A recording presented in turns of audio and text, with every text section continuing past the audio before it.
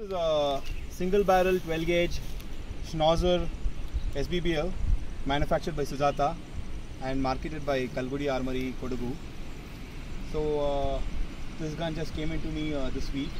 It boasts of the tightest choke in uh, any gun in the Indian market. So I'd like to see how this shoots. Fit and finish of this gun is good. It's a very light gun for an Indian gun. Uh, the forestock is very unique It has these two nice little ridges here, and uh, the interesting part of this gun is the release lever. The release goes like this, huh? and uh, also the hammer of the gun is really smooth. Yeah. So let's see how this gun shoots.